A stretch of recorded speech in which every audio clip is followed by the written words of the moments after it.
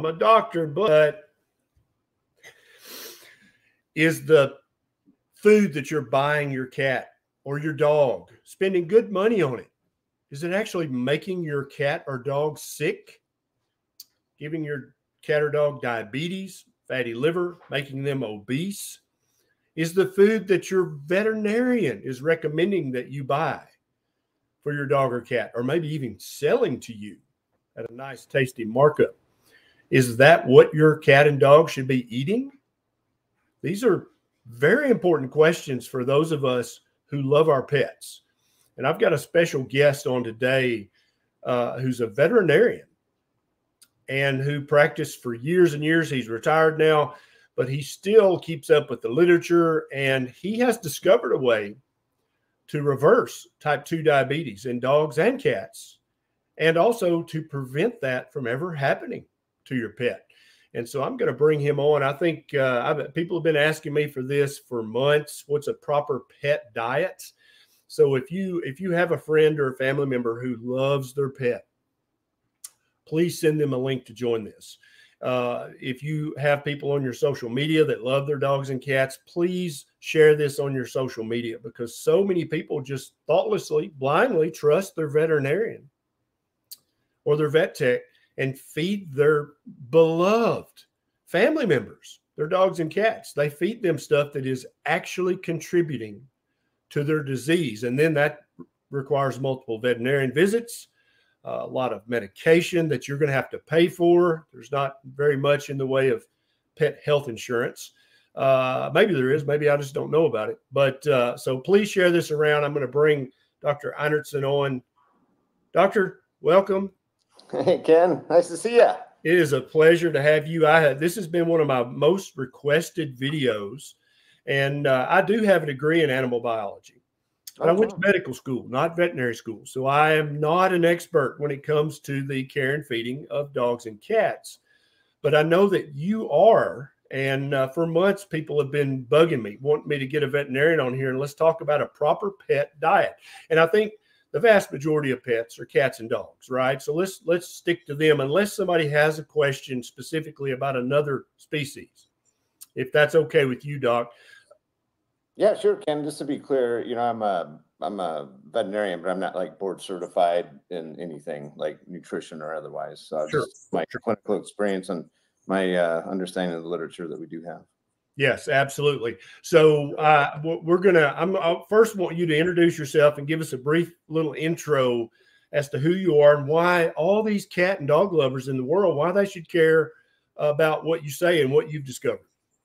Okay, well, you know, I, uh, this you might be experiencing the ramblings of a lunatic, you know, but uh, i am from Colorado. I graduated from Colorado State in 1994. I practiced in Alaska for a couple years, where I did large and small animal um, and then uh, moved to Rochester, Minnesota, where I've been for the last uh, 26 years.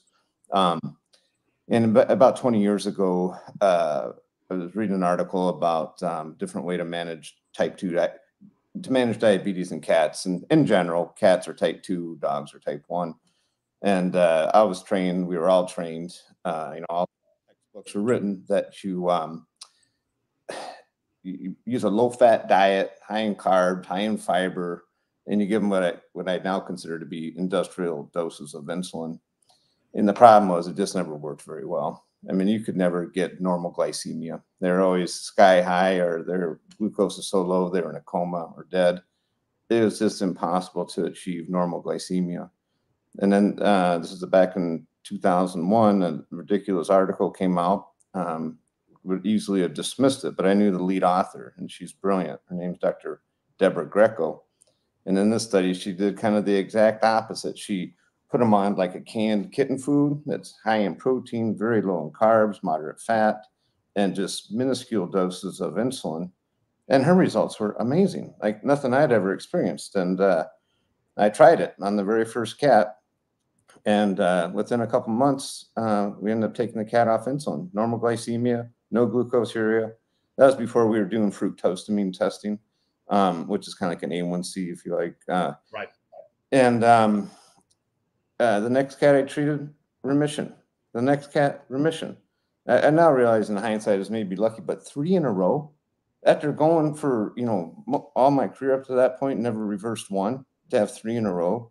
So I just really um, dug on into that and um, sent one of my technicians off, and she got trained. And together, I think at one point we pulled our records, and we had like seventy percent remission. And then over time, as we refined our techniques, we got up to one point at the very top point was at 83% of our cats in remission. Yeah. Um, and so any of you guys watching, if if you think your veterinarian might need to hear what Dr. Einertson just said, please, you're welcome to email a link to your veterinarian uh, or tag them in this because I think the average veterinarian has no idea about this. I want to and, and I want to dig into that, doctor. What the hell was wrong with you before you made this discovery? Why did you mistreat so many cats and dogs for so many years? Were you not trained about dog and cat nutrition in vet school? Did you not read any literature? How, how because you're obviously very intelligent, how did you miss that? Well, I think because I followed the conventional wisdom. The amount of nutrition that we get is similar to physicians. You know, it's not very many hours. And I could kind of summarize it by saying, you know, it's uh, we've identified the essential vitamins and minerals. Make sure you have those, the essential amino acids, um, and uh, then it's just kind of calories in, calories out from there. You know, um, and it was uh, that's as simple as you know, reversing obesity was just uh, put them on a calorie restricted diet. We, we were never taught anything about like protein leverage. We were never taught about anything about like the insulin and glucagon responses it was just uh, that simple. So I think a lot of us miss it. And you know, after um, reversing diabetes or getting them into remission, um, then I was listening to uh, some other research saying that yeah, you could use that same diet to reverse obesity. It was more of opinion than research, and I was like, well, that's ridiculous because uh, as a hypocrite, my own cat was obese. You know, I mean, she was overweight. I put her on the most expensive prescription weight loss diet on the that you could get, a real famous brand. And um, she was brand, Doc. What was the brand? Uh, Hills. Um, Hills. yeah. It's a re- reducing diet. Yeah. And um, I, I, put her on that, and she was hungry all the time. And she's waking us up at night, and you kind of give in. Just feed her some more food so we can sleep. And she slowly, over a period of years, went from overweight to mildly obese. And so I thought, you know, it's ridiculous if I could put her on this high protein, very low carb, moderate fat canned food because she loved canned food. You know, she loves it too much. She's just going to overeat it. But I tried it and the weight just melted off her. We call it the Catkins diet. You know, she could jump Catkins. up shelves and she's doing all this stuff. And I was like, wow, this is completely backwards. You know, um, at, at, the time I still didn't understand like protein leverage, you know, and all that stuff. But um, then I started uh, using that same diet to reverse obesity, and I started noticing some other things like these cats that have these chronic cystitis, the bladder, the interstitial cystitis, like in people. Um, that seemed to go away, or uh, not completely, but just way lower uh, levels. Um, and then the obesity, and then the diabetes, and the hair coat changes and they just seem to be more muscular and more athletic. And I just kind of started to question all of my training. Yeah, no, I totally get it. That's and that's a very similar story what happened to me, but it's I think I find it fascinating that the average vet just kind of falls in line with oh a cat and dog diet should basically be a plant-based diet like people uh, kind of forgetting maybe that they're a different species. And I want to I want to um, I want to pull up this real quick so that if anybody has any doubts about this, I've actually seen people on Twitter say that uh, their dog was not descended from a gray wolf. And let's be very clear. Uh, I was taught in animal biology that every single canine on the planet, without exception, is a direct descendant of the gray wolf and all the different breeds from the humongous, uh, you know, wolfhound to the tiny, tiny chihuahua. They are all directly descended from the gray wolf. That's number one. Then number two, cats. This is the uh, ancestral lineage of cats. They literally descended from the same common ancestor as lions, tigers, cheetahs, pumas, mountain lions. They all have a common ancestor Uh, cats are not some special magical breed. Our dogs are not some special magical breed. They are direct descendants from uh, animals that ate predominantly meat. Now, uh, next thing I want to say is I want everybody to tell me in the comments where you're watching this from. Where are you at in the world? What city? What state? What country? And then, Doc, you you alluded to changing from kind of dry kibble over to just canned dog food. What are the differences between them? And and why do you think that started to make a difference immediately in the the, the diabetes? Yeah, well, just to be clear, like in, in cats is where I have the most confidence um, because they are true obligate carnivores, like your graph showed. And I love that graph on your dogs. You know, just to, just so you know that some of the pushback I get from my peers and the academics is uh, there is some been some genetic changes uh, in that they have more copies of pancreatic amylase um, yep. in some of the dogs. Although it's interesting, I read another article that like it's not so much like the northern dogs, like the huskies. That's right. Yep. Not just the dogs that evolved out of like the, the Fertile Crescent, the Middle East, you know. Absolutely. And it's actually breeds of dogs that have been domesticated with humans the longest. They mm-hmm. have the most genetic defects, allowing them uh, having a higher amylase in their in their saliva and in their their stomach, so that they can uh, break down sugars, uh, starches, because they've been eating human scraps for the longest amount of time. And so the longer a, a breed has been in captivity and been domesticated, they're going to have more copies of the amylase gene. That's absolutely true. But that's not a positive evolution. That's them basically uh, eating our scraps for so long that it, it it actually had an adaptive effect on their genetics. But it doesn't mean that that's their ideal diet. Agreed. You know, and um, and just so you know, like that's more copies of the pancreatic amylase. I still don't think any of the dogs have salivary amylase. No, you're you're exactly correct about that. Yes, thank you for that. And then uh, again, the cats. You said you're you're more of an expert in in feline health. Uh, so what's the difference when we change from dry kibble to canned cat food? What's what is the difference in that? Because it's there's nothing magic about the can, obviously. Uh, why is canned food seem to help cats better than dry kibble? Yeah, um, and the, you know the reason I think the canned is is important is a couple of reasons. One is if you look at the African cat, you know we think all of our modern domestic cats um, evolved from, you know, they evolved in the desert, and there's not much water in the desert. You know, uh, I've read an article that said as much as ninety percent of their daily moisture needs for those wild cats comes from the prey that they catch because little mammals that they prey upon are like big mammals. We're all close to about 70% water. You know, and so when you feed canned food, it's about 70% water. When you feed dry food, it's only about 10% water. Now, yeah, if you put them on dry food, they will drink more water, but they never drink enough to be fully hydrated. You look at the amount of urine they produce. They, cats just have a low thirst drive. And so I don't know what's going to be as critical in dogs as in cats. It has to be canned. But the other thing about the canned is like you can put whatever you want in canned. But if you're going to make crunchy, crispy little brown balls that you can pour out of a bag, you're going to have to add a lot of carbohydrate to that. And so that's why I, I think it's really important for cats. I think probably less so for dogs on the can versus um, dry. Gotcha. So I've had a couple of questions already. Uh, what about because there's a lot of people that uh, hang out with Neisha and I, and we feed our dogs and cats meat. That's what that's what they get. They get ground beef. They get uh, fish out of a can. I buy the super cheap tuna, and I'll give them a can of that. I'll give uh, the cats and the dogs one can of cod liver once a week. And the next question is always, well, that's expensive. And I, and so then my reply, because you know how I am, Doc, I'm I, I say something to the effect of, well, do you actually love your cat or dog? as a family member or do you not? Because i you know i can hear a parent saying well that's too expensive to feed good food to my kids.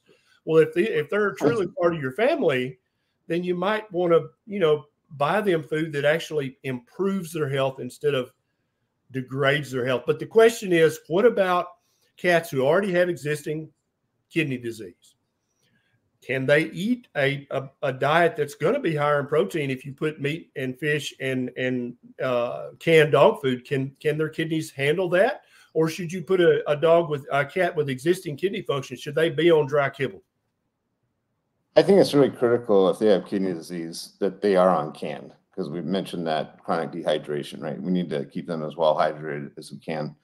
Um, you know, the, the high protein in kidney comes up all the time. And I just did a webinar the other day with another specialist. But uh, when you look at the prescription kidney diets, they tend to be lower in protein.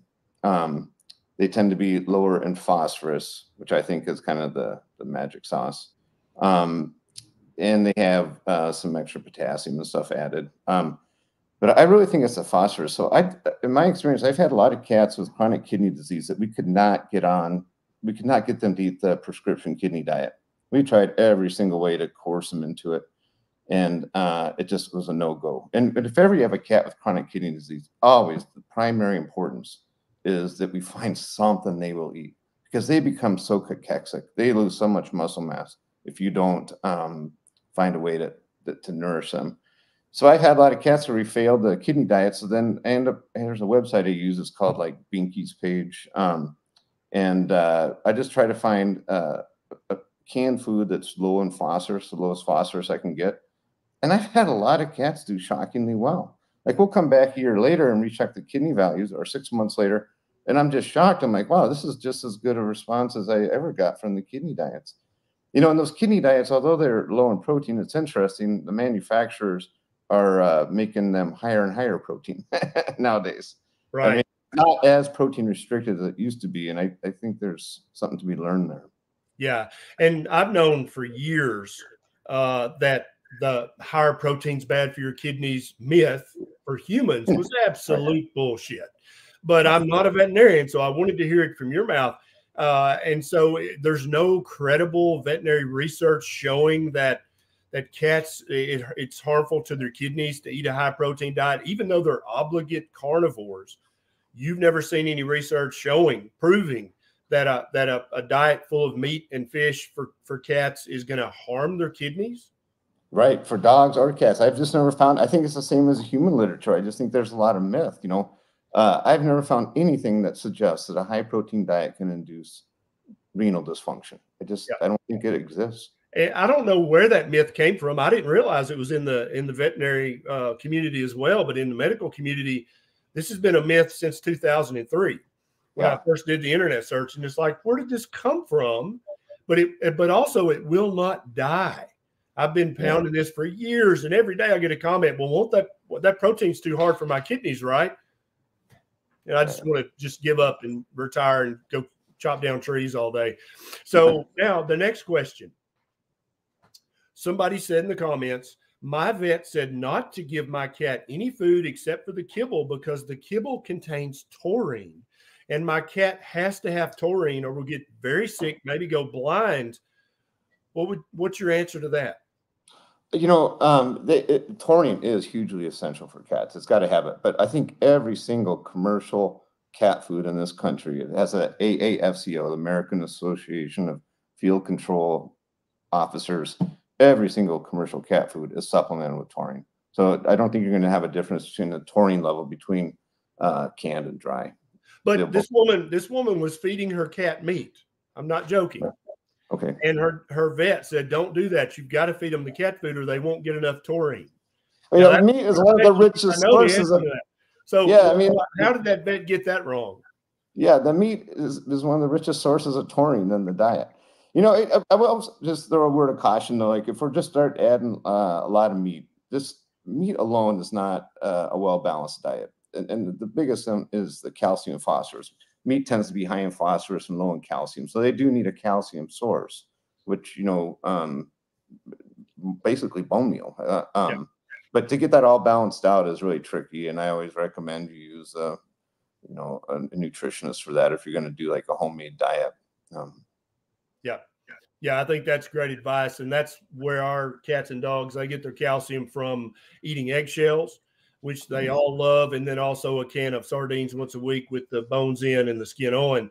And yeah. I think that probably makes it a, a fairly rounded out diet. Now, a lot of people in the comments are saying, I only feed my dog or cat grain free. It says it right there on the front of the of the dog or cat food package what are some caveats about that and some warnings? Is that if it says grain free on the front, is that is that a perfect food for cat and dogs?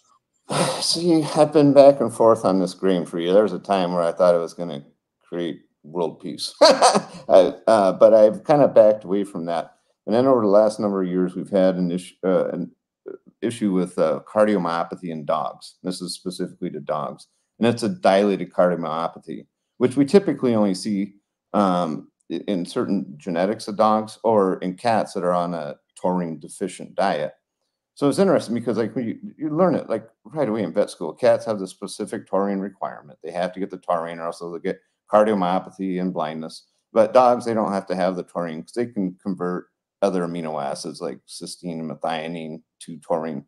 Um, so this it's our, our, field has been working very hard for a number of years trying to figure out what's causing this dilatative cardiomyopathy in dogs, and it's been associated with grain-free diets. The thing that I never made sense to me on that is grains are not a good sense of uh, they're not a good source of like like taurine. You know, right. um, there's so, none actually in, in right. any grain or in any pea. They have and no so I think I think what they're starting to find though, I think it, it truly is a taurine deficiency in dogs. And this is just my crazy going off. But I've, I haven't been following it as closely lately. But um, I still think it's a taurine uh, deficiency, and it's hard to measure taurine accurately in the body. You can do serum levels, plasma levels, but it's not really sure if that that's going to correlate with what's in the tissue. Yep. And if you're feeding a dog that's already kind of like on a marginally low protein diet, you know, grain free, you, you, you soon find out if you're formulating diets, meat is the most expensive ingredient, right? So then they start doing all these legume proteins um, and other, uh, you know, plant-based proteins. Well, they don't have as much methionine and cysteine to convert to the taurine. So right. I really think it's all going to boil down to be a taurine deficiency even still. Yeah, it wouldn't surprise me. It wouldn't surprise me at all. And from the limited research I've looked at, it looks like dogs may there there may be a spectrum of conversion of the other amino acids to taurine, much like in humans. Some of us can convert beta carotenoids from plants into vitamin A fairly well. Others of us can barely convert any of the vitamin A in plants into real actual retinol vitamin A. And I suspect that's the, there's a spectrum in, in dogs that just like that when it comes to taurine. And I would not be shocked if you're exactly right about the, many, many dogs have a taurine deficiency because they're not fed meat. And so everybody watching, when it says grain free on the package, I promise you they did not replace the grains with meat. they, they replaced the grains with pea protein, which is also very cheap and the protein, at least in humans, is very poorly, poorly absorbed and used. And I would suspect the same is true for dogs and cats. Uh, so just because it says grain free does not mean it's made of meat. Okay. And that's what both cats and dogs are carnivores to at least a large degree. Cats completely so. Uh, dogs, I think, are, are classified as facultative uh, carnivores, which means they they need mostly meat and but they can tolerate some starches and some other stuff. And I've actually seen um, game cam video of wild coyotes grabbing ears of corn off corn plants. So if there's a if there's a lean year, they'll add they will absolutely eat corn off the cob off the off the plant. But that's not their primary food. Their primary food. Let's just talk about that. What is the primary food for cats and dogs that they should that, that the majority of their diet should be made up of? Well, you know, if you look at like wolves, we were talking about them earlier, and you look at the analysis that they do on wolf diets, you know, and a lot of excellent research out of Yellowstone. Um, you know, it's it's like like 45% protein or 45 to 55% protein, 45 to 55% fat, depending on if it's a bull or a cow and the time of year, what the animal is. It's just like almost zero carbohydrate, you know, close to zero. Um, and so I guess you know, I, I, get in these arguments with my colleagues, but I think until proven otherwise, we should try to mimic a species appropriate diet. And oh.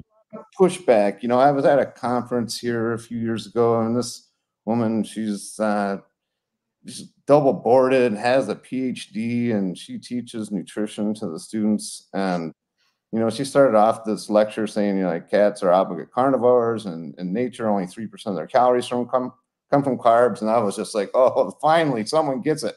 But then she turns around and spends the rest of the hour you know, defending carbohydrates up to 35% of their diet. You're like, oh my God, a tenfold increase in carbohydrate. And, you know, she looks at these studies or they can, they can metabolize them. That some of the earlier studies, the, the carbohydrates weren't heavily processed enough. But if you heavily process, or she says properly processed, which means heavily processed, the carbs, yeah, they can digest it, you know, but like, I just don't think they were meant to have that sugar bolus all the time, you know, and this, yeah. I, I'm a lunatic, so. But if so, what what would happen is if everybody out there, if they just stopped feeding their cats kibble, and either switched to a canned uh, cat food that's full of meat, or just started making their cats their own food at home like they do every other family member who they purportedly love. Big companies like Hills, Science Diet, like Purina, Alpo, all these guys, their profits would tank. Now, is it is it true in veterinary school like it is in medical school? Do a lot of these big uh, pet food corporations do, are they very friendly with veterinarians? Do they bring you samples? Do they buy you lunch? I, I don't know how it works. So walk us through that if any of that exists. Oh yes, yes, and yes. I mean, they.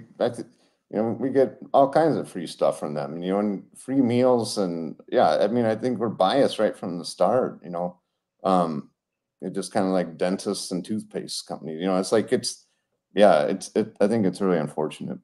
Oh, I totally agree. Pam has a question. The vet said her dog has pancreatitis caused by high fat and salty food. Is this true? What should I feed her? She's 13 and no teeth. Now, that none of this is medical advice. It's also not veterinary advice. This is just right. two two doctors talking.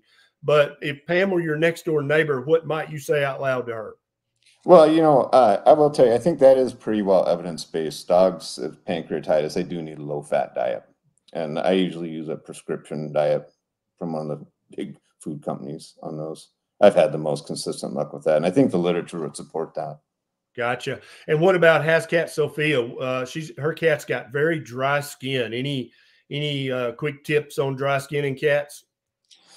Yeah. So I, once again, I have the same answer for everything, canned food. You know, um, and I think the other thing about this canned food, and I could be wrong about this, but I think most of them, if you look at the labels, which veterinary labeling, it's terrible. Sorry, it, it is absolutely terrible.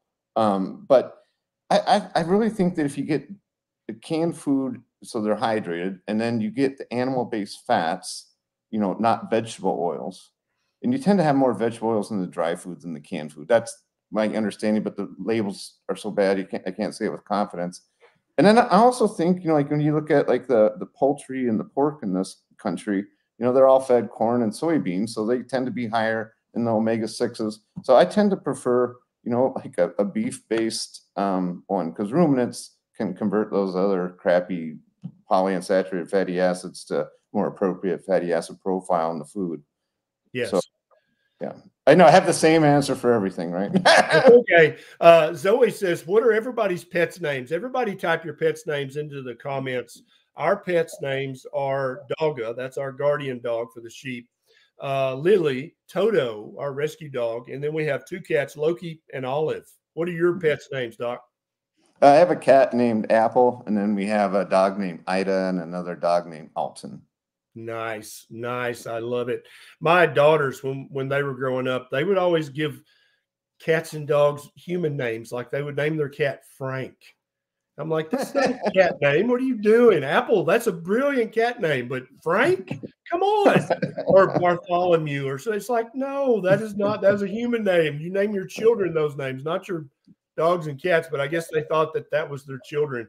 Uh, let's you know, but can I just mention one thing to uh, just to kind of keep it simple, but like uh, you know, people like explain to them cats are obligate carnivores. They meant to eat, you know, animal based proteins and fats and all that. And then they're like, you know, like I, I can't afford these real expensive premium foods. And my point is like, I just think conventional like Friskies, classic pate, you know, fancy feast, you know, Sheba, I, I, I, don't know that you have to have an expensive premium brand. Most of the diabetics would reverse was on was on the cheap stuff.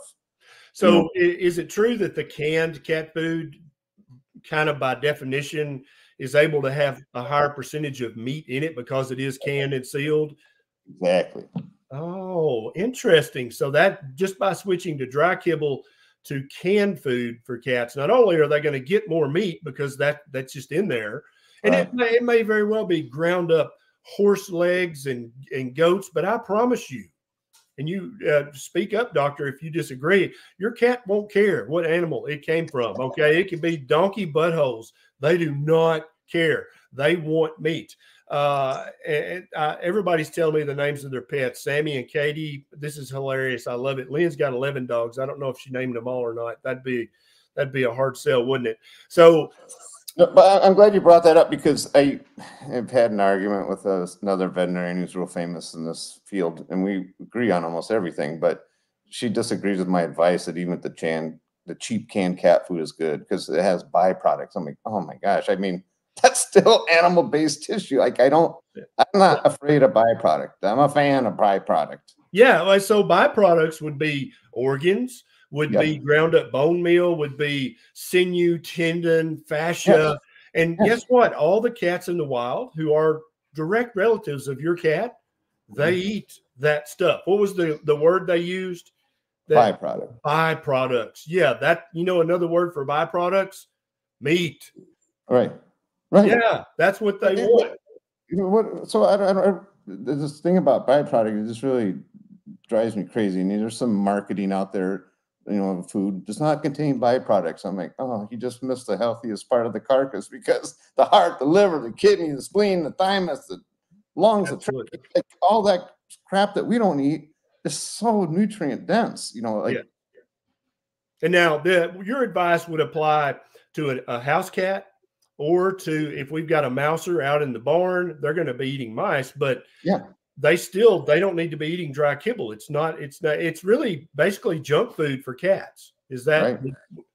it, it is. That's like you know, kibble for cats is just like uh, yeah, junk food that you're stealing my line. You know, it's like I tell my clients all the time, and if you if you take this seriously and you just do nothing but eliminate kibble from the home from your cats and feed a cheap canned cat food, you're really going to hurt my bottom line because all these things that are keeping me busy every day, uh, they just tend to not show up, or they show up at a much lower incidence. And yeah, well, I totally agree. So, and and now for my uh for my guardian sheepdog, he yeah. gets he gets ground beef. I do buy him canned dog food because he he weighs 140 pounds, and he would wow. literally break my bank if I had to feed him, you know, uh, ribeye every day. But he gets a, a three cans of, of canned dog food. So that's high in meat, and it also has the liquid that he needs. Uh, but also, I'll throw some sardines in there. I'll throw some ground beef in there. And you're saying that dogs on average need a lower fat diet than humans. Is that right? Well, I think, you know, if you just look at their ancestral diet, you know, it depends on what they're eating. Like if they're living off rabbits, it's going to be really low fat meat. You know, if they're living off elk in the prime, it's going to be a lot higher fat. But yep. I just think the dogs I think dogs need the high protein, moderate fat, very low carb, same as cats. Gotcha. So for cats or dogs, it needs to be very low in carbohydrates. Uh, are there any? I'm not a veterinarian. Are there any essential nutrients in plants or in carbohydrates that dogs or cats must have or need to have to no, be I think it, healthy? I don't think so. I mean, I, I understand there could be some maybe some medicinal benefits of some herbal stuff, you know, but like it's just like the carbohydrate requirement for dogs and cats is the same with people. You know, it's zero as long as you have adequate protein and fat. Um, yep. And I get pushback from some of my clients, and and there's this one, or not clients, but colleagues. Uh, but there's this famous veterinarian, and she's assured me that they're going to get some kind of phytonutrient deficiency. And I, like, how would I recognize that if I saw it? She has, I'm been able to explain that to me, but yeah. So, which phyto and nutrients are essential for dogs and cats? What's the list? I say zero. You know, that's me. You know, I mean, but... I love it. So, uh, very often, as you probably know, Doctor, I'm I'm having uh, heated or, uh, discussions with vegans on Twitter. And uh, there are many vegans who feed their dog and, or cat a plant based diet or even a vegan diet because they're they think they believe that that's the healthiest for their their pet, but also it's it's good for the planet too. Is there any research that shows that a plant-based or a vegan diet is is optimal for cats and dogs or or even beneficial for cats and dogs or is that a red flag that maybe they love their ideology more than they love their cat or dog? That's what I think, because I'm not aware of any research looking at outcomes. Okay, you can take a plant-based diet and you can, you know, throw all kinds of supplements and nutrients in there to make it meet that AFCO, that AAFCO compliance. It'll have the, you know, the vitamins and minerals. I'm sure you can make it, you can make it uh, plant-based. Like, but I'm just not aware of any outcome data that's showing that it's uh, better for health. And my hypothesis would be that it's going to be less beneficial than a true species appropriate diet. But. Yeah, I, I think that I totally agree. And it, you know, I've got a confession to make, Doc, and this is embarrassing, but I want to, because everybody, we all make mistakes. So I used to have a house dog years ago in a previous life who we tried to potty train, but he wound up chewing up all the, you know, the chuck pads that we put on the floor. So that actually made a bigger mess. So we finally just gave up, let him poop on the tile, and we cleaned it up.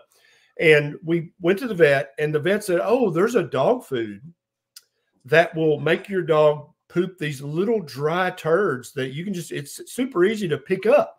And the vet actually prescribed us a dog food to make him poop little dry turds. Now, it obviously looking back now, I'm ashamed of that because I obviously didn't love that dog very much, or I, I wouldn't have cared the consistency of his poop. I would have cared about the nutrition in his diet.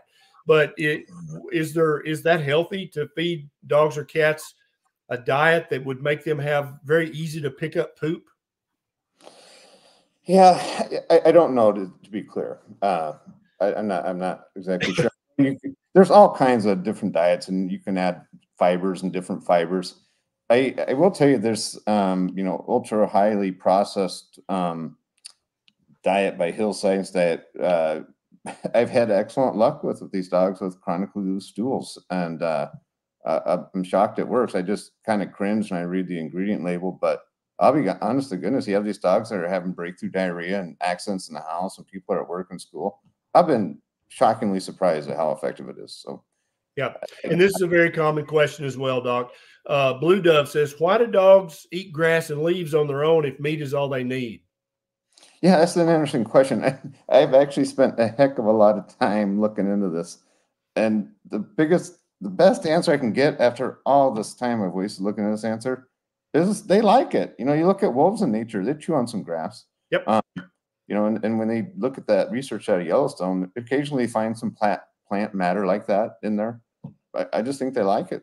Yeah. I, I don't yeah. think and you know the the kind of the old wives' tale that my grandmother Granny Berry taught me was that dogs do that when they're feeling sick. They eat the grass to kind of do something to their gut. Uh, but I would say, Blue Dove, yes, occasionally your dog will go out and eat a few blades of grass. But the majority of the time, if you gave your dog a bowl of grass or a bowl of meat, I don't think I have to tell you which one your dog would smash and which one they would ignore. Uh, so perhaps dogs do like, and I'll tell you, Lily, our uh, standard poodle, I've got some hybrid willows actually growing in the house. I'm going to plant in the pasture for fodder. And uh, she's been nibbling the, the tips of the leaves off the hybrid willow, which is a very high protein, very tasty forage for for sheep and goats and cows. And and I, I, had to put them up out of her reach because she's been nibbling the leaves. Now i said nibbling right?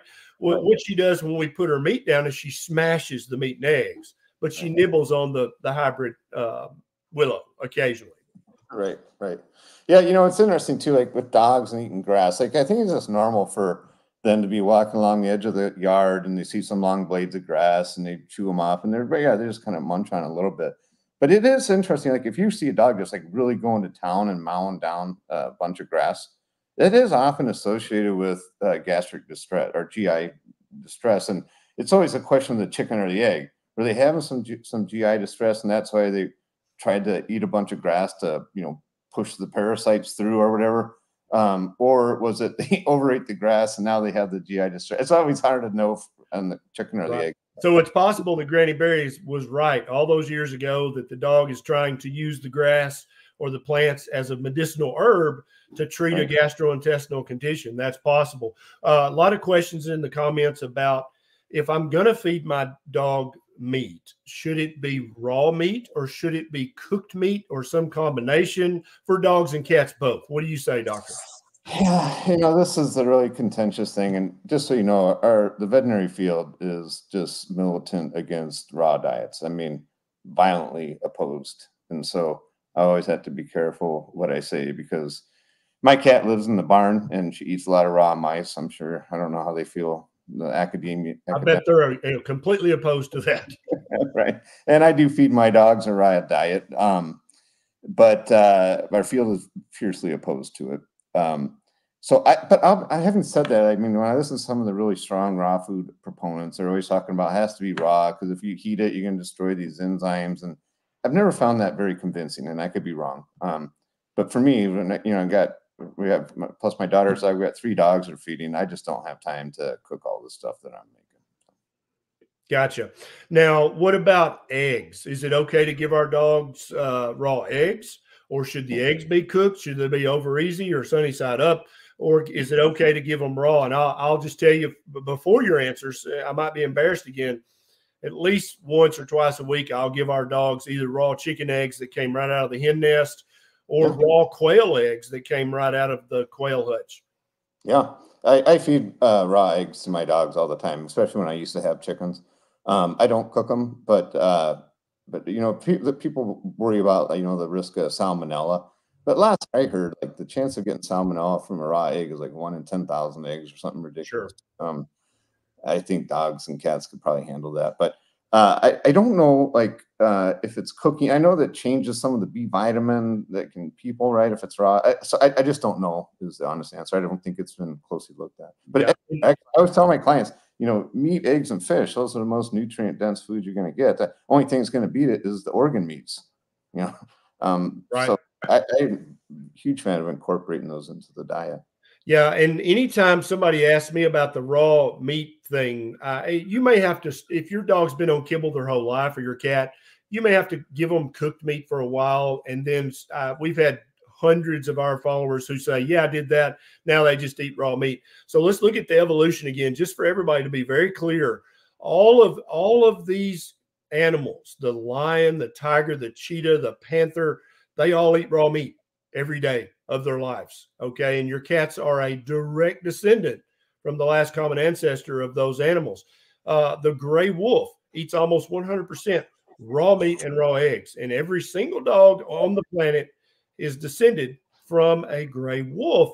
Now, they've been in captivity with us for about 8,000 years, 9,000 years, Doc. Uh, being a veterinarian, is eight or 9,000 years, is that enough time for evolution to make dogs and cats crippled to the point where they have to have kibble or they have to have cooked food. Yeah, I mean, I'm just I know I'm so biased and I irritate some of my colleagues in the veterinary community, but I just think a, a species appropriate diet is rarely going to be kibble. Uh, and, and now Purina, I've gotten a call from them while we're live. They said they do not appreciate this video whatsoever uh, that, that, we're. No, I'm kidding about that, but yeah. So yeah, hopefully because I've actually they owe me money because I put more. You know, I say like Friskies and fancy. That's all Purina products. I've just had excellent luck with it, but you know, I don't like their kibbles. Yeah, yeah, I totally understand. So let's see if we can get. Uh, I'm going to take some questions from the audience, if that's okay, Doc. Uh, if any of you guys have a question about your cat or dog that you need to get answered, you can include it in a super chat. It bumps it up uh, to the top of the list. Mario says his dog loves raw meat. Let's see what I can find here. Uh, beef liver for the win. There you go. Come on, guys. Now's your chance. Uh, okay. Do you have an opinion on the Dr. Marty freeze dried high protein dog food? I don't. I don't know enough about it to have an opinion. Okay. Do dogs' uh, mental health might will it possibly improve if you take the carbs out like it does in some humans? See, I think so. And, you know, the dogs get this thing called cognitive dysfunction syndrome. It's basically doggy Alzheimer's. And, you know, I, I could be fooling myself here. Just going off someone's clinical observations is not as good as looking at RCTs, but they right. don't exist. But, uh, but yeah, I, I, I really think so. And I just think that hyperinsulinemia and those glucose spikes and advanced glycation end products. And I have, I'm for, I have a before I retired, I had quite a few raw feeders coming to me. So I was not that I recommend it, but I was one of the few vets maybe the only vet in our area that just didn't beat them up and you know give them a hard time over feeding raw food.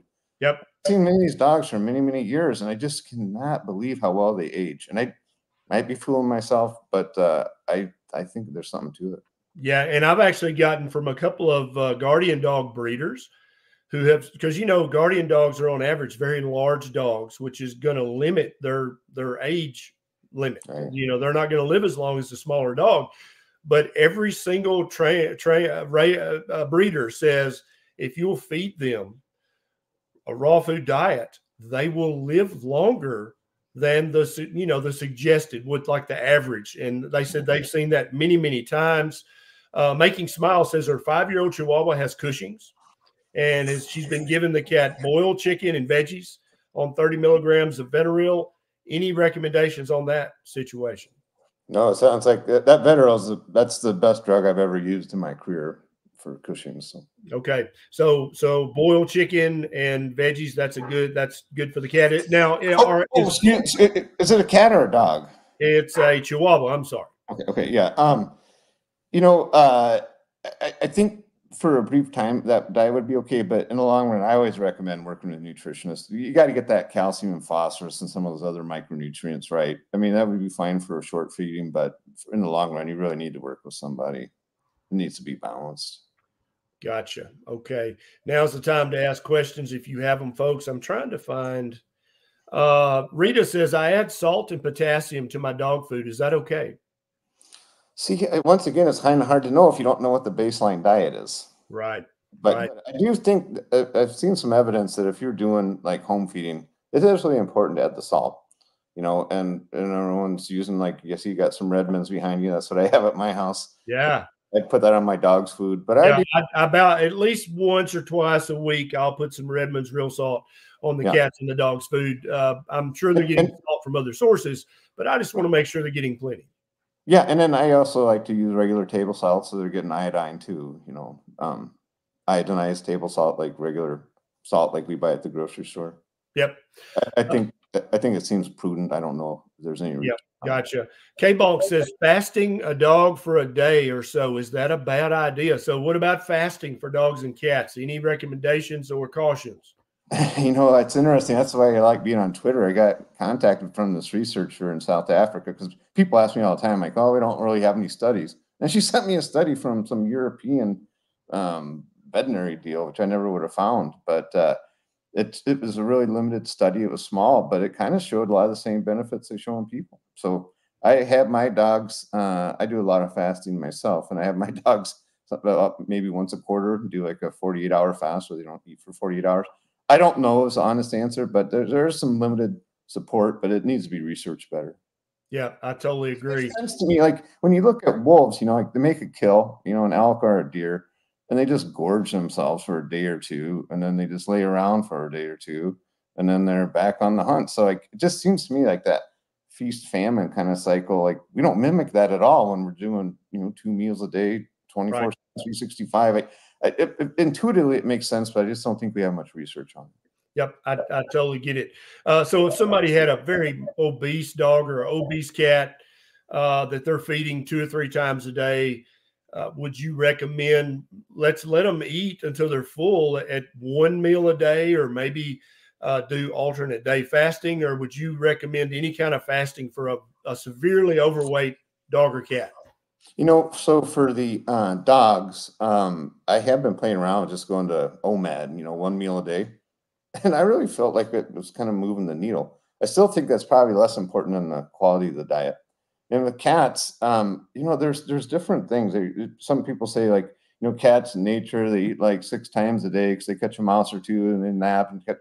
But then I came across another article and showed actually, uh, and I wish I would have saved the article. I got it off Twitter, of course, but it was um, it was feeding cats once a day and for weight loss. And it was a some, the diets were similar, but they were they showed better results having one meal a day, which is interesting because in veterinary medicine, there's always a lot of worry about cats getting um, fatty liver disease. A little bit different than like with the fatty liver disease you're working with people, but um, they get it when they get anorexic, and so it's always this concern. If you don't feed cats constantly, they're going to get fatty liver. But They didn't show it in that study. Once again, it was a small study, but I, I think in cats, I usually like to feed them uh, two to three times a day. If we're having trouble with weight loss, I go down to twice a day. If it's dogs, I've had personal luck with once a day, but I, I'm just telling you my clinical experience. I can't back all this up with randomized control trials. Gotcha. Uh, uh, okay, now here's a great question. I I have a this is one of my pet peeves. Should adult dogs and cats be given milk? Yeah, see, this is kind of controversial too. They they they don't have that enzyme, right, to break down the lactose. And so having said that, you know, in my younger days, I used to do some large animal work, and I'd see these. You go to a dairy to go treat some cows, and these cow, cats are drinking milk all the time. And uh, I, I don't, I don't honestly know. I, I kind of suspect that it would might be better if it's fermented, you know, so mm-hmm. reduce the lactose. But I don't, I just don't know. Gotcha. Uh, so I mean, the I think that by definition, every adult cat and every adult dog is lactose intolerant. Yeah, they don't have lactase persistence like humans do, right? So they they have lactose when they're in that new neonatal period, but it, it drops off pretty quickly in life. Gotcha. Oh, oh here's a, a rabbit question. What are the safest treats for rabbits? I don't know anything about rabbits. I would just say follow a species appropriate diet, mimic something they would get in nature. Yes. What would rabbits eat in the wild? Uh, celiac revelation. Uh, also, keep in mind rabbits are herbivores, obligate herbivores. I think now right. rabbits actually facultative because I've seen video of rabbits eating meat. They will do it, but they mm-hmm. want they want predominantly plants, right? And so, some right. plant based treat for your diet, uh, some plant based thing that you bought for yourself that tastes like crap, you can maybe give it to your rabbit. I, I think rabbits and horses, these hind gut fermenters, I just consider them obligate, you know, uh, herbivores. But yeah, yeah. Brian says uh, they feed their English bulldog instinct raw. Is that okay? Probably. You know, I, I have had excellent results with my clients that are feeding that. Um, but that's just my clinical experience. I wish I could point to good trials. Um, Neisha says that's very expensive dog food, and uh, she has some experience with it. And uh, I, I would say, kind of a blanket statement for everybody watching: buy food that's that has at least a lot of meat, if not predominantly meat, for both your dog and your cat. Would you agree with that, Doctor? Yeah, I would. You know, it's interesting. I was on a Twitter debate with this guy, veterinarian over in the UK. Really respectful guy. I, I admire his work. Just a huge fan of his. But then in the thread, he was going to bat to say carbohydrates are fine, and and I just proposed like a thought experiment. You know, like okay, let's just say there's this crazy change in the markets, and now all of a sudden refined carbohydrates are super, you know, plant based are really expensive, but like meat, whole meat carcass is is dirt cheap. You know, with the would these commercial producers change their formulas? I think you and I both know they would. Yeah, oh, absolutely. And, and then the question that I asked, I said, "Do you think there'd be any change in health outcomes?" And he refused to uh, consider. Because I'm not a fan of thought experiments, and especially that one. Einstein was a big fan of thought experiments, but I think it's an interesting thought experience. And, and my my hypothesis is that you would have better health. Um, I, I know because it's interesting. Like these pet food companies, they always assure you that these foods have been created to maximize the nutritional benefits. And I'm like, if that's the case, then if the meat goes cheap and the grains go high, you better not reformulate your stuff because you've already assured us. But I don't, I think they would reformulate it and I think it would be more helpful. So uh, let me ask you this, Doc. Are there any federal guidelines or regulations about the labeling of dog food like there are there is for human food. So if if Purina wanted to put on the front of their bag, guaranteed to help your dog live longer, is that must that be based on randomized control research in dogs, or can they just put that uh, uh bullshit on their front of their label, or at least imply it with really yeah, nothing see, to back it up? There's a lot of regulations on that and i don't i don't know them but you know like you can put like all natural or holistic I, there's stuff there's terminology you can and can't use and i don't i don't know all the regs because i know in the old days there was a dog food that was actually they advertised help your dog live help your loved one live longer i think they worded it but i don't see that any much anymore. Now uh tiffany has a question. In my human patients, I say you need to eat until you're comfortably stuffed if you're eating a proper human diet. Does that apply to dogs and cats as well? Do they get to eat to satiety if you're giving them a meat based diet, or should you portion control them or calorie restrict? Yeah, so that's I think the beauty with cats is because I think you know, when they when they're eating that canned food, you know, it's like I think the weight of the food has a certain satiety effect to it. Um, Mm-hmm. So, uh, I, I, think in cats, that's why I have better luck with canned, and I think I have better luck with dogs too, honestly. But it's just I understand those of us with big dogs to feed how many cases per week it would take. It's just not feasible. But I don't think dogs always get that satiety signal. Uh, some breeds do, some breeds don't. But it, notoriously, like Labradors, they just they don't have a, a full button switch. You know, it's just yep. they just keep eating and eating.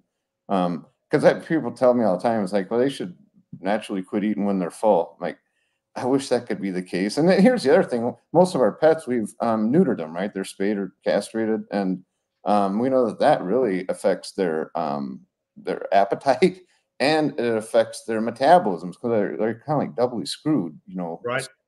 I, I think, uh, yeah, I, I, would like to say, I usually you're gonna take some. Um, I wish I could say we could just time restrict their feeding, but I think a lot of times you're gonna have to not just time restrict. I think you're going to have to calorie calorically restrict. But in that case, in like uh, I think you got to find a way to give the greatest satiety per calorie of food, and that means protein. That means meat, right? So I just think it's going to put it in your favor. I love that. That I think that's a great way of thinking about this. If the food is it stretches the stomach, if it's nutrient dense, if it's very satiating, then that that's probably going to prevent them from overeating. And I would I would guess that uh, may be no research done in cats and dogs about kibble, but I bet a cat or a dog just out of boredom will just sit and crunch on kibble. Uh, John says that his car loves ice cream. I'm pretty sure that he meant to say his cat loves ice cream. That's a weird pet if your car indeed eats ice cream.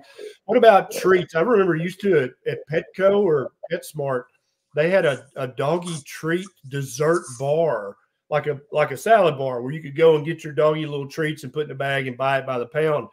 Do do cats and dogs do they need treats? Do they need desserts? Do they need to lick John's ice cream? Yeah, I don't think they need any of that. I'm a big fan of uh, not giving treats. You know, I think that you should have time between meals where their stomach's empty, empty, their insulin levels are low. Uh, you know, if you have a really healthy dog and cat, I'm sure they could tolerate it. I, I tell people if you're going to feed treats, I just like it to be meat based treats. You know, so but our dogs love meat based treats. Right. Yes. So use that. I'm not a fan of those crispy treats. I'm not a fan of those like milk bones and stuff like that. I'm just I'd rather just have it be a, a meat based treat. Here's a great question. It, do dogs and cats, it, the dental health, right? Because dogs and cats can absolutely get cavities and dental abscesses. That absolutely can happen. Is it related to diet? Would you expect more cavities and dental abscesses with a with a kibble diet or with a canned diet or with a meat diet? Yeah, so that's another one of those myths is that uh, kibble, you know, kibble is good for cleaning the teeth. It has this scrubbing action that cleans it. I just think that's a bunch of crap, and I don't think there's really any good studies to support that. Um, but yeah, periodontal, periodontal disease is huge. That's the number one disease in veterinary medicine, affecting 70% of the pets over three years of age. I mean, it's, it is huge. But it's interesting. I mean, when I first started getting into this raw food feeding, you know, I was against it violently for years, like the way I was taught. Uh, but I, I kept um, looking at these people's dogs' teeth. I'm like, oh my God, I just, you know, this dog's like eight years old, has the teeth like a, a one year old. It's just unbelievable. That is one of the biggest things that people tell me when they're feeding raw. Now, having said that, if you're doing like raw patties on all the meat's already ground, I don't think you get the same benefit of those people that are doing like meaty bones, you know, like um, like chicken wings and um, turkey necks and stuff like that. Those are the dogs I see with the most profound good teeth. Um, I could be wrong. Yeah, no, I think you're totally right. Uh, actually, recently, Neisha took one of the dogs to the vet, and the vet tech, not the vet, but the vet tech said, don't feed your dog anything that you wouldn't hit yourself in the knee with. Uh, meaning dogs don't need to eat bones. Now, literally said that out loud in a veterinary office, which I, I just I had to you know count to 20, uh, not to go back up there and be like, what the hell? But there is this uh, pervasive uh, idea that I've heard since I was a child is that you should only feed dogs and cats raw bones, never cooked bones, because the cooked bones might shatter and perforate their GI tract. Is that true, or is that just another myth? Well, see, that's what the conventional wisdom is. And, the, the, conventional wisdom is just don't give any bones. There's too high a chance they're going to crack a tooth or but I do think if you're going to do bones, although it's really controversial, I do bones, but I think it's best with the raw. I really do.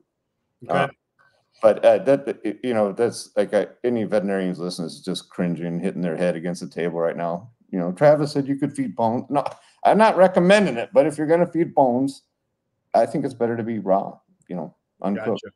Yeah, they do because like I've, you look at these. Like, I'll just tell you an experience like I had earlier in my career you know, it's the end of the day, you're trying to get home, and his phone call rings like, oh my God, my dog just ate like a whole case of turkey thighs. We set it out, you know, to defrost so we can cook it.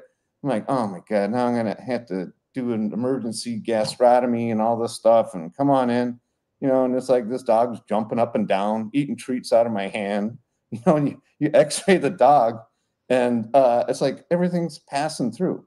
Now, having said that, if that dog would have got into cooked turkey thighs, it'd be a whole different deal. Okay. And that's just an example, but like, yeah, but, but I do think the kind of bone you have to look at these forums online. There is a lot more knowledge than I can share here.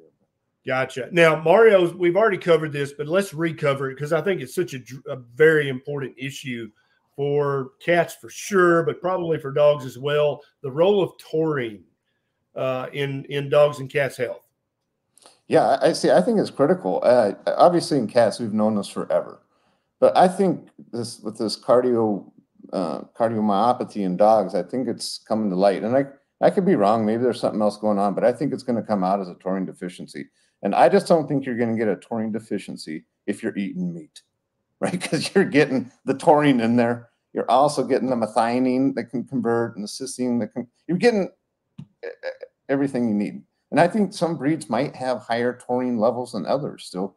Uh, like you were saying, like, like your idea on beta carotene and vitamin A, you know, some and some people can convert it pretty well, some can't hardly at all. I think we're going to find similar differences um, in, in pets. But if you're feeding any commercial canned cat food, I don't think you have to worry about a taurine deficiency. All of them are supplemented. But if you're doing um, diets for dogs that are grain free, not that there's any magical taurine grains, any significant amount. But uh, you got to watch to see what kind of plant-based proteins are adding. yep. And by in my research, doc, there is no taurine in any grain or any legume whatsoever. You have to eat meat to get taurine, or the pet food manufacturer has to add taurine to yeah. the kibble to get it in there. There's no taurine whatsoever. Now, correct me if I'm wrong. In any grain or any bean or pea or legume, there is no taurine whatsoever. Uh, from my I, I, yeah, I guess I don't know the absolute amounts, but I just know that, like in general, plant-based uh, foods aren't going to have. Gotcha. Making Smiles has been told that uh, feeding fish to her cat can cause UTIs. Is this true? I've never heard that it doesn't make any common sense. But uh, so you haven't seen any pattern of uh, fish eating cats getting UTIs? No, I haven't. I have a lot of cats on canned fish, you know, fish canned foods, and I just I've never heard that or seen that that I'm aware of. Gotcha. Any concerns about feeding your cat uh, tuna out of the can or salmon out of the can, cod liver out of the can? I think it's all excellent. I recommend all of them. Excellent. Okay, beautiful. And then also, I, just, I always say, just be careful that that's not the exclusive diet because it's not going to be balanced, you know. But like if you're feeding a good, um, well formulated food, I think you can safely have like 20% of their calories coming from just stuff like you mentioned. Gotcha. Um, so Janet had a cat that lived 18 years on 10 sardines. you know, that's interesting. I had a case one time years ago, and it was uh, it was a weird case, but it, it people adopted this cat after a death in the family. And that cat had been on nothing but um, put, put canned tuna, you know, for all these and some sardines. And I end up calling a nutritionist, like, oh my God, what do I look for? Like, how bad is this cat going to be screwed up? And she assured me it's probably not going to be that bad. And the cat checked out perfectly healthy. So Nice. Uh, Susan says, uh, "Are brassicas okay to feed?" Yeah, uh, she doesn't specify, but let's just talk about dogs and cats. Who's eating a mostly meat diet, and she adds some olive oil for satiety and some omega threes. Uh, brassicas, are they okay? See, I don't know. You know, I know that they can have like some trypsin inhibitors and uh, other anti-nutrients. I don't feel comfortable with them. Having said that, that famous vet online who's, um, you know, she thinks that they need all these phytonutrients. She would disagree with me. So I, I just kind of avoid the brassica, but I just don't know. It's just not a species appropriate diet in my mind. Um, you know, as far as like the olive oil, I, I, I don't know. Again, uh, I, I would say if you're having problems with satiety, you need to up the protein and probably moderate the fat. And if you are going to do a fat source, I think probably the best fat source would be like something like beef tallow. Lisa's vet, uh, son's vet, actually told them that uh, seafood will cause UTIs in cats. Okay, I, I could be wrong. I mean, that makes zero sense, but maybe, but de- definitely reach out to me later, Doc, if you find some research showing that seafood or fish causes cats to have UTIs. I'll be blown away, but I'll definitely publish that if you find any evidence supporting that. But I, I, I don't, um, I don't think that's going to happen. Uh, let's see. uh, what about hard boiled eggs? What about meat jerkies for treats? Excellent. Fantastic. Absolutely. Excellent. Okay. Let's see. Oh, somebody feeds their dog uh, raw tripe, uh, which is stomach, intestine. That's okay. You're okay with that? Yeah, you know, I, like I say, I, all the conventional vets are going to disagree with me, but when I just what I've experienced in my clients feeding that, I'm remarkably impressed by the health of their dogs. Oh, here's a good question. I don't know. I don't think this is true, but does cooking destroy the taurine in meat? See, I don't know how labile the taurine is, but in general, I think as long as it's not heavily cooked, it should be fine, is what my guess would be, but I'm not 100% sure. That would be my guess as well, because obviously cooked steak still is a great source of taurine. Uh, right. I would I would guess the taurine's an amino acid, so I think it probably is going to, as long as you don't cook it at 700 degrees, it's probably going to be fine. Doc uh, Michelle wants your opinion. Is raw better? well, that's what I am feeding my dogs. So I guess you can read into that what you will. But uh, gotcha. That I think that answers it right there. Uh, let's see what else. Anything, uh, Doc, that we've covered that we haven't covered that you think we should cover? No, I think that about does it. Oh man, it's such a pleasure to chat with you. Thank you so much for doing this. You've answered so many questions today. Uh, wrap wrap this up. Is there any? Um, uh, hopefully, you're working on a book. about this because that would be awesome. Also, you talked about a book in another video, uh, dogs, dog food, and dogma. Yes, yeah, dogs, dog food, and dogma. I mean, I think uh, you know when I went on my low carb journey and got so much health benefits, I, I could not wrap my mind around what was going on, and I didn't really understand it until Gary Taubes' um, "Good Calories, Bad Calories" was really what I think enlightened me. But uh, I think that's the closest thing to a Gary Taubes we have in our field. It's Daniel Schulof uh, book, Dogs, Dog, Dogs, Dog Food, and Dogma. And I've got a link to that down in the show notes if anybody wants to check that out. I've actually read it. I've got a copy. It's uh, it's it's exactly in line with everything I talk about about human nutrition. He's talking about in dog nutrition, and I think most of what he says applies to cats as well. Um, so, it, what about taurine, Doc? One last question: Is taurine in tuna. Does tuna have taurine? I don't know off the top of my head, but you yeah. know, when I when I, the reason I don't think I'm seeing these cardiomyopathies with grain-free diets is because all the my patients are on that are on a high meat diet. But I also wonder about other things, like maybe taurine is fine being slightly lower as long as you have plenty of carnosine and carnitine and all these other amino acids. But if you're if, if you're having a diet that's really deficient in carnosine and car, carnitine, maybe all of a sudden it just takes a little bit of blip and you know other amino acids to, to knock things out of balance. I just don't know, but I just as hard as we've been looking to find a cardiomyopathy in these dogs, we have been unable to find one. Gotcha. And then final question: Wendy's got a dog who had pancreatitis. I think you've already answered this for someone else. Uh, a couple of time, a couple of episodes of pancreatitis, and the vet's insisting on an extremely low-fat diet. Is this necessary? Can he eat raw meat like the others? Yeah, I, I in my clinical experience, I've had the best luck with these prescription low-fat diets with that. But I have often wondered if you did like a really low-fat raw or or or canned diet, you know, um, canned meat diet, if you could have similar benefits. I just don't know. But right now, that it's it's pretty evidence based. When you have pancreatitis, you need to be on a low fat diet. Gotcha. All right, Doc. Thank you so much for taking the time and answering all these questions. It's been a pleasure. Everybody, you're welcome to share this video. If you have a, a pet lover you're acquainted with, send them a link to this. And uh, Doc, I'm excited uh, for your new book that'll be coming out in just a few months about the proper pet diet. Because if you're not working on that, you need to get busy because people are hungry for this kind of information. Because all the big plant uh, pet food manufacturers have misled everybody, in, including veterinarians. So thank you for your time, Doctor, and I'll see you next time. All right. Take care, Ken. Bye-bye. Bye.